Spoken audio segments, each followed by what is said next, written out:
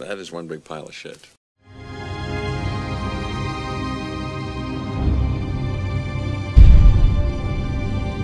Alright, so welcome back everybody. Today, we're actually going to continue the lovely, lovely trend here of doing some nice, awful build guides for you, and actually taking a look at something that you've all actually kind of commented on, and that is about sideways builds here.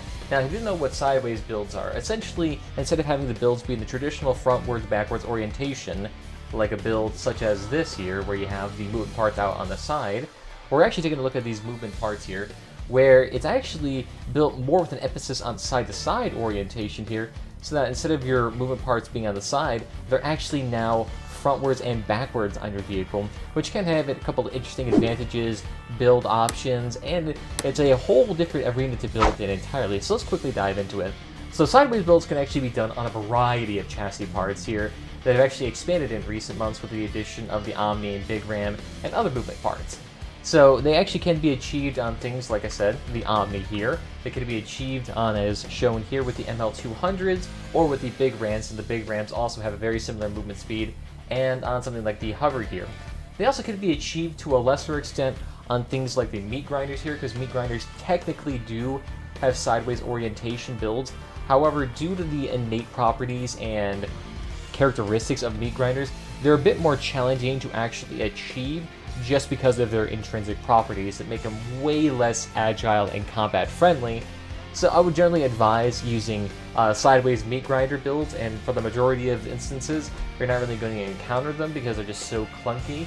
So don't really worry about it. It's technically possible, but we're not going to be focusing on them. However, that still leaves us a bunch of parts that we can actually mess around with here today, and they all have very interesting build properties here. And there's a couple of tips and tricks that you should do when you're making your sideways build here that you can then optimize it even just a smidgen further. So first things first, let's get a basic car here to work with, and then I'll kind of show you some basic tricks. Alright, so we have a very basic build here that I just want to quickly showcase how to actually attach your movement parts to the cabin here.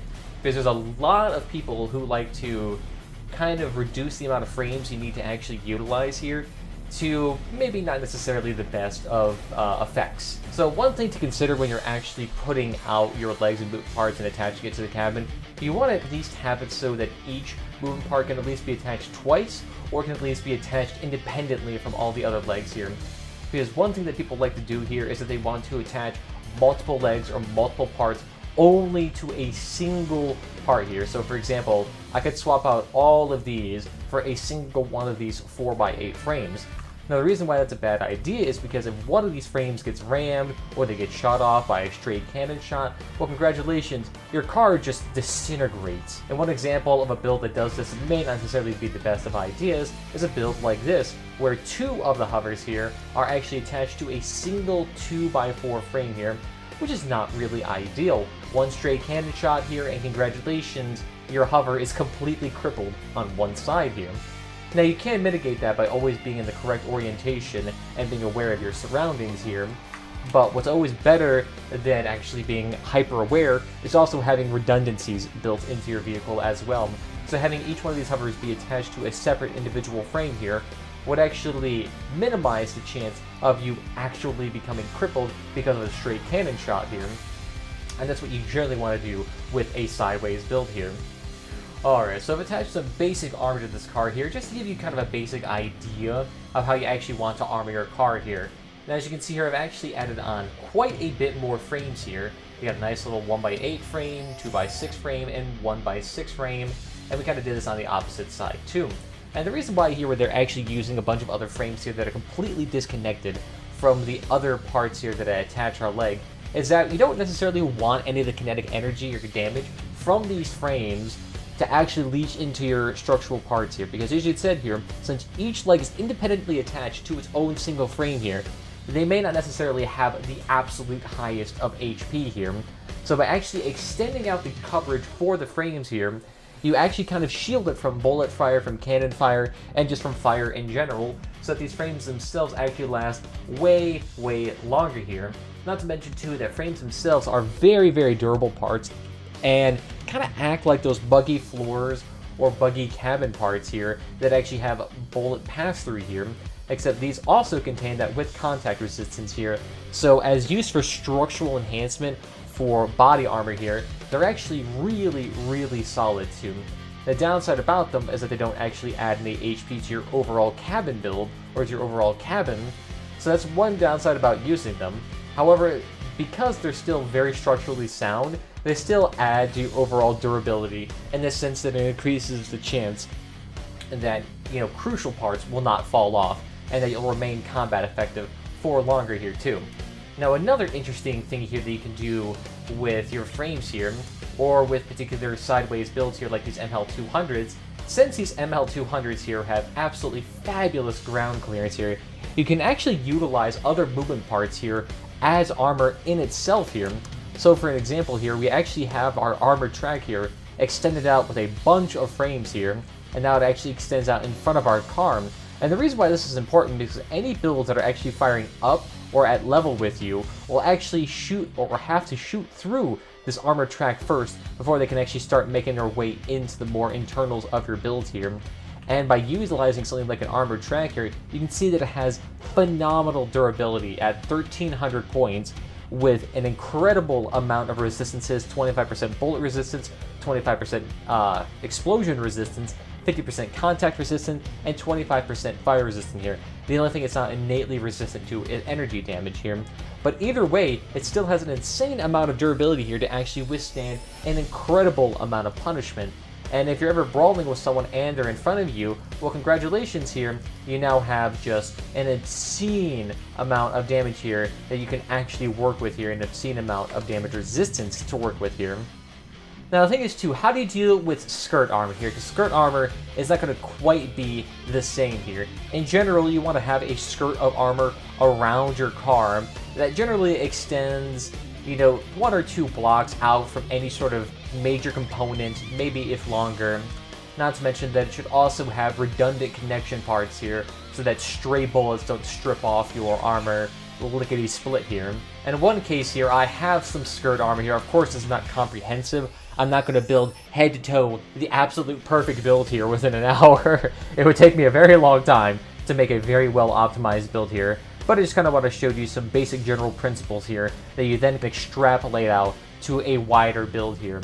And as you can see here, we do have some buggy parts here that are, you don't have to have the absolute most upfront and highest durability parts here to utilize to actually connect your skirt armor here, because you have to remember, skirt armor here is not meant for it to actually be armored plating, but more or less a catch-all shield for things like cannon shots, explosion shots, and stuff like that that can actually wreak havoc on your build, and then you have more high durability and meaty stuff on the inside of your car, actually protecting your critical components here. But, like I said, with skirt armor here, you have it lightly attached to your car, you tend to have redundancy here just in case there's any sort of sideways skirting here, and by doing that, you actually protect a nice portion of your car here, because say someone actually shoots a cannon shot over here, bloop, hits that thing, that thing falls off again. Have to fire again, bloop, may hit that, or may hit something further internal. So actually having these extra redundancy and skirt armor in there will enhance your vehicle's survivability greatly, especially if you're utilizing something like a hover, an omnibot, or an omni wheel, or anything like that that may not necessarily have the absolute highest durability that an ML200 have. You can actually get away with a little bit less skirt armor on an ML200 built because, like I said, ML200 is just a beefcake, but if you're floating around on a build something like this, then having more and more skirt armor here is going to be absolutely crucial here. And in fact, on a build like this, you can actually see they do have skirt armor here up front here, except it's very, very minimal here. It's meant to just be a very light catch here, so you can reduce your power score as much as humanly possible here, with no skirt armor on the side here, hopefully by trying to keep yourself as forward as possible to block as many of the shots as humanly possible. But you can see there, it actually took quite a few shots of this Corvo here to actually strip off quite a few of that armor parts here. So it's actually really great here at actually keeping the durability of this car pretty nicely maintained. Now also don't be afraid here to, to actually utilize hardware, and other components to actually be your armor as well. So for example, a build like this, you actually could throw out your engine like so, keep it out up front and prominent, because the thing is, is that not necessarily with a lot of sideways builds will you need the engine, nor is an engine a like critical component of your car's function. So you can actually utilize it as a little bit of space armor in itself here, especially if you're dealing with very structurally weak parts like those of the hover variety, because those hover parts only have a very slim amount of durability, such as this one, which only has 165, and this one only has 200 here. So you're not dealing with very high durability parts here. So if you kind of extend that by putting out other modules up front to actually block it, then congratulations, you actually sit there and make your overall build slightly more durable. However, you can also use your underpart here to actually house a decent amount of hardware components too that may not necessarily want to be out front and utilized as armor. So for an example here, if I wanted to actually hide some ammo packs here, you can actually still do it pretty dang well here underneath your car here, and you can actually stack these multiple times if you want to actually get a decent chunk of parts here hidden and out of sight here. Because with skirt armor, your legs, armor tracks in the way, these things will likely not be popped unless you get rammed here, which you can also minimize with a couple of other strategies and just general awareness too of the battlefield. So you can still utilize the underside of your car here, and if you better place the frames better than what I've done here, then you can actually start slapping on things like Maxwell's or other sort of components here, and you'd still have a lot of clearance here to actually work with and actually keep those parts working just fine here. Now what I've showcased so far was the ML200, and those have a very particular building section for them due to their exceptionally high clearance, and the fact they can also be interchanged with big rams themselves, and how you can actually utilize things like hardened tracks, armor tracks, and whatnot to actually utilize as armor. That's pretty unique to the ML200s themselves, now, what about other movement parts like the Omni Wheel's other hovers? What are the considerations for them? Well, in general, you still want to actually do something similar to them. You want to have your own unique parts for them. Like, for example, here you want to have a single frame going to a single wheel here, just so that you have at least a little bit of leeway here. If one part gets shot off, you still have a connection for the other parts here that doesn't cascade into a multiple part failure here. And as you can see here too, they also have the other wheel here attached all the way at the far end here. And this is actually a particular concern with very low riding builds here that necessarily don't have the length or girth as the ML200 legs. Because the thing is, if you build your sideways build super far out here to accommodate more spatial armor, or in the case of this build here, to accommodate the space of two tsunamis, is that you'll actually have to put a wheel very, very far out there with a lot, a lot of frames here to actually get the proper leverage to prevent this front side here from dragging on the ground. And by actually putting a movement part all the way out here, the front end of your car here is not actually grinding too much against the floor here to the point where it's actually reducing your speed, actually hitching with the floor and other things like that. So it actually still allows you for great and optimal movement here. One other thing to consider here too is that with the Omni here, you don't necessarily have the absolute highest of clearance here that you would have with an ML200 or a hover here. So you actually have to make the underside here a bit more smooth. You can't extend anything below the actual depth of the wheels. Congratulations. Any bump that you hit will immediately stop you in your tracks here.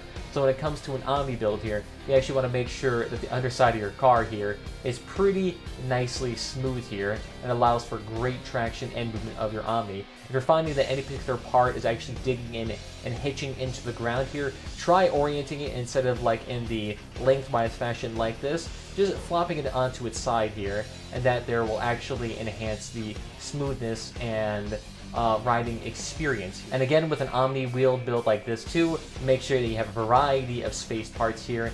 In this case, this person is using a little bit of frames here, a lot of buggy parts here, and they're kind of extending it out here with double touching points here with this buggy trunk and the right sode here.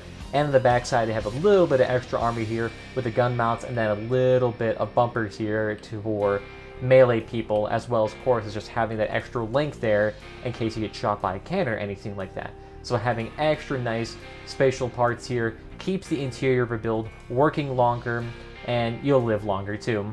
Now, finally, hovers. These are the challenging things to actually work with here because they have a very particular quirk with them, and that is they are absolute glass cannons here and that they will absolutely get destroyed if you are not being careful with them in the absolute slightest here.